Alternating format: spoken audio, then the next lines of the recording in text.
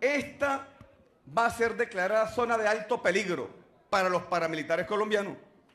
Paramilitar colombiano que pase la frontera con Colombia hacia Venezuela y venga a perturbar la paz y venga a enfrentar a la fuerza pública o a los ciudadanos, recibirá la respuesta de la Constitución.